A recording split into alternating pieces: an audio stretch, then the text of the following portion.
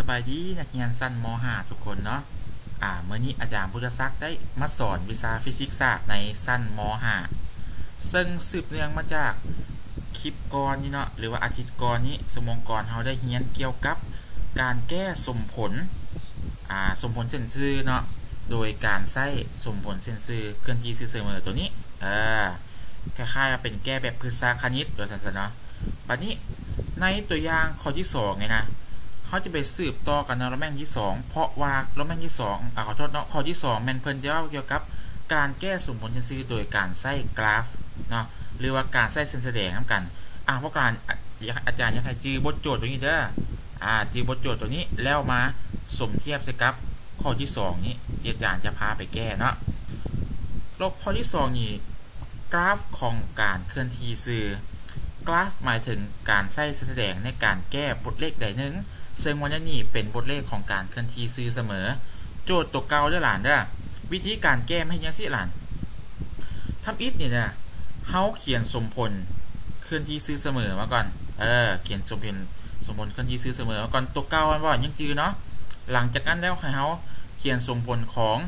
ทั้ง 2 คัน มีรถ 2 คันนะรถจากจุด A แล้วก็รถจากจุด B เห็นป่ะอันนี้ก็เป็นตัวเก่าแล้วมันบ่นี่ อ่า ยังจือบอบจือลองเปิดปึ้ม เขียนแล้วก็เบิ่งตัวเก่าคือน้ำแมนบ่อะไรอย่างนั้นแล้วเนาะแต้มตัดตารางตัดตารางจะเป็นอย่างซี่ล่ะห้องแถวระบิดนี่แถวระบิดตัวนี้นี่แมนบอกเวลา แถวที่2แมนบอกสมผลเคลื่อนที่ซื้อของรถคันที่1และต่อไปแมนบอกสมผลเคลื่อนที่ซื้อของรถคันที่2เฮาจะเฮ็ดจังซี่ล่ะเฮาจะเริ่มเวลาหั่นน่ะเฮาจะวางอ่าเวลาลงไปเท่ากับ0ไปก่อน เริ่มตั้งแต่0 แล้วก็0.5 1 1.5 2 อันนี้หมายถึงชั่วโมงเด้อหลานเด้อชั่วโมงเห็นป่ะ0ชั่วโมงนี่ หลังจากนั้นเฮ็ดยังไงเฮาก็เอาค่าของที่ไปแทนใส่มันบ่0คูณ40ออกเท่าใดออก0แม่นบ่าเอาแทนสตัวรถคันที่2เด้0คูณ20ออก0 60ลบ20เออขอโทษอ่า60ลบ0ออก60เห็นบ่0นี่หมายความว่ายังไง60เนี่ยหมายความว่ายังไง 0นี่หมายถึง ระยะห่างตั้งแต่ของรถคัน A หาจุดเข้า ซึ่งแน่นอนว่ารถคันเท่า0นี่หมายความว่ายังไง หมายความว่ารถ A หั่นน่ะบ่ได้มีการเคลื่อนที่ ส่วนรถ B เด้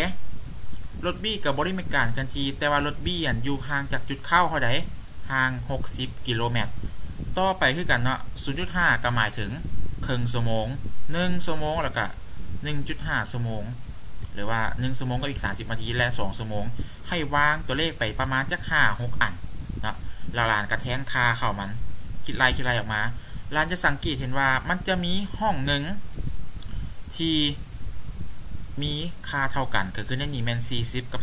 40 อันนี้หมายถึงอย่าง อันนี้หมายถึงจุดที่รถทั้งสองคันจะพบกัน และพบกันในเวลา1ชั่วโมง อันนี้เฉพาะตารางเด้อแต่ว่ากราฟอาจารย์อยากให้เบิ่งกันยังสี่หลานคมิดนี่หลานแต้มเส้นแสดงหรือว่ากราฟมาก่อนลวงตั้งกับลวงนอน สุดแล้วแต่หลานเด้อลวงนอนหลานจะให้เป็นชั่วโมงก็ได้ อยากให้เป็นระยะห่างหรือว่ากิโลเมตรก็ได้ แต่ที่นี่เพิ่อนวางลวงนอนเป็นเวลาลวงตั้งเป็นระยะทาง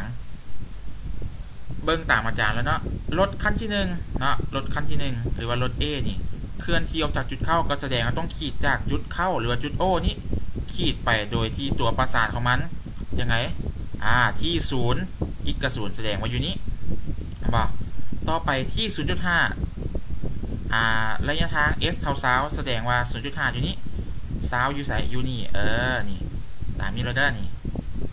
เอาขอโทษเนาะทำอิดอยู่นี้อ่าขออภัยนะ อ่าทำอิดอยู่นี่นี่ ที่เท่าศูนย์อีก a กับเท่าศูนย์ต่อไปที่เท่า0.5อีก a เท่าซาวแสดงว่าอยู่นี่นี่ต่อไปที่เท่าหนึ่งอีก a เท่า40แสดงว่าอยู่นี่แล้วก็จ้ำไปเรื่อยจ้ำไปเรื่อยเนาะ1.5กับยูไซ1.5เป็น60แสดงว่าตกอยู่นี่เออ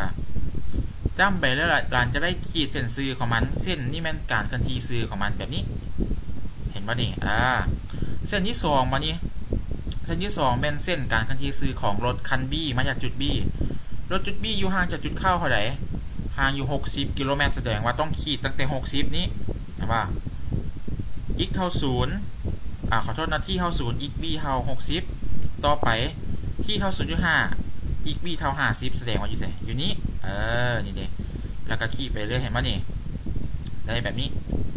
จะสังเกตเห็นว่าเส้นที่ตัดกันเนาะ สองเส้นตัดกันอยู่จุดหนึ่งันจุดนั่นหมายถึงจุดที่รถสองคันพบกันนะระยะห่างเท่าไหร่หยุดอยู่จุดที่40กิโลเมตรนะห่างจากจุดเข้าหรือว่าจุดห่างจากจุด A นี่เท่าไหร่40กิโลเมตรและใช้เวลาเท่าไหร่นี่ใช้เวลาอยู่1ชั่วโมงนั่นเองเห็นป่ะอันนี้คือวิธีการแก้การเคลื่อนที่ซื่อเสมอโดยการใช้กราฟนะต่อไปแม่นอาจารย์จะ ไปสู่โรแมงทีโรแมงที่3การสั่งรวมความไวอะการสั่งรวมความไวนี่ คือกับการสั่งรวมความแหงโดยเขาจะอิงใส่ทิศเคลื่อนที่ของวัตถุอะคือยังไงล่ะ ถ้ากรณีวัตถุเคลื่อนที่ไปตามทิศเดียวกัน ทิศเดียวกันเนาะบอจะอ่าทั้งสองทั้ง A B นี่มาทางซ้ายหรือ A B ไปทางขวาอันนี้เอิ้นว่าไปทิศเดียวกันเนาะวิธีการสั่งรวมความแหงแม่นให้เอาสองความไวขอโทษเนาะความไวเนาะ ให้เอาสองความไวมาบวกกันเลย โดยเขาจะกำหนดทิศบวกแม่นทิศของ O อีกนะ ต่อไปถ้ากรณีวัตถุ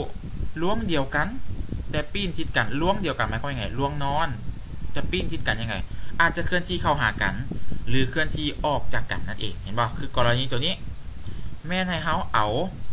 ทั้งสองความไวนั้นมาลบกัน แล้วพี่อาจารย์เอา VB ลบ VA ก็ได้ตัวเอา VA ลบ VB ก็ได้ตัว ได้เด้อหลานเด้อแต่อย่าลืมว่าเขาต้องกำหนดทิศบวกก่อน ซึ่งส่วนหลายแล้วเพิ่อนจะกำหนดทิศบวกไปตามทิศของแกนเข้าแกนเข้าตั้งแต่โอหาอีกเกมว่าสั้นได้นี่จึงเป็น VA ลบ VB อะอันนี้มันล้วนเดียวกันแต่ปิ้นทิศกันต่อไปแมนกรณีวัตถุมีล้วงและทิศเคลื่อนที่ต่างกัน